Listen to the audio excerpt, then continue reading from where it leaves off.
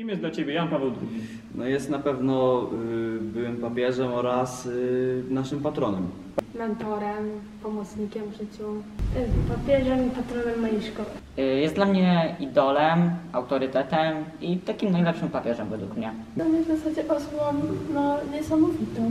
E, Myślę, że oprócz tego, że no, był papieżem, no to też może być jakimś tam wzorem do naśladowania. No bo dużo jednak tam zrobił, no i też żył w czasach takiej wojny, no to też to jakieś ma znaczenie. Byłem papieżem. Jan Paweł II jest dla mnie bardzo ważną osobą, ponieważ po pierwsze jest patronem naszej szkoły, ale też jest jako jedyny Polakiem papieżem. Dla mnie jest autorytetem. Wzorem do naśladowania. No. Jan Paweł II jest dla mnie autorytetem. Wzorem do naśladowania. Jan Paweł II jest dla mnie autorytetem. autorytetem oraz osobą, która prowadzi mnie do Pana Boga. Jan Paweł II jest dla mnie osobą godną do naśladowania.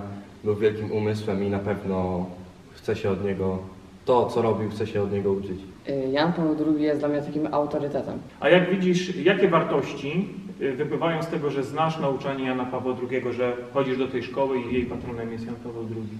Myślę, że na pewno jest to y, sposób, w który mogę oddawać tą relację Panu Bogu oraz mogę także poznawać Jego nauki oraz słuchać Jego starych wypowiedzi. Wartością, którą wnosi jest e, dobro. Dobro, żeby się nigdy nie poddawać i że walczył pomimo trudności w życiu.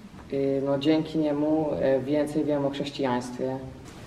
W sumie to dumę, bo taki wspaniały człowiek był Polakiem. No nie poddawać i wymagać samemu od siebie. No. Jeżeli nikt nie wymaga, nie ma takiej presji z góry. No, dał mi na pewno to, że więcej wiem o chrześcijaństwie Mhm.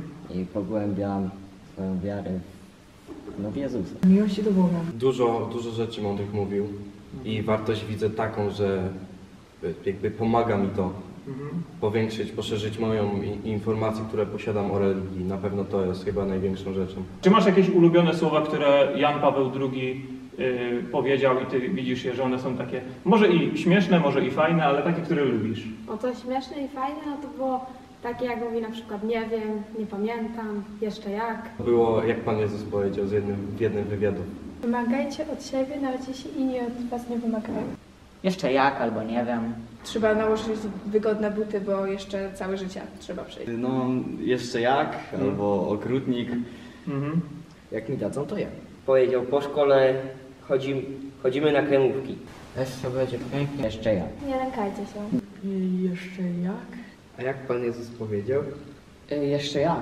Co Ci się najbardziej kojarzy z Janem Pawłem II? Kojarzą mi się na pewno kremówki oraz Watykan. Jest bardzo dużo memów o nim. Też, że był dobrym, wszędzie mówią, że był jednym z lepszych papieży. Pierwsza myśl, słyszysz Kremówki. Kremówka. No oczywiście kremówka, ale y, tak druga myśl to jest, że no jest to patron szkoły oraz że, to, że był to y, papież Polak. Godzina śmierci jako 21.37. Papież kremówki. Najbardziej kojarzy mi się, no właśnie, naród polski. Mhm. Też kremówki, co pewno wszyscy będą tak mówić. Mhm. No i też oczywiście Kościół. No, że był papieżem i kojarzy mi się z tym, że opowiadał kiedyś, że grali w piłkę Mhm. i kopnął piłkę i trafił piłką do kościoła i w którym była msza akurat. Jest patronem szkoły nie? Dobra. Papież Polak albo Watykan? A jak słyszysz słowo papież, to Twoja pierwsza myśl? No właśnie o Janie Pawle II. Jan Paweł II. Jan Paweł II. No Jan Paweł II. No, ja nie Pawle II. Jan Paweł II. Jan Paweł II.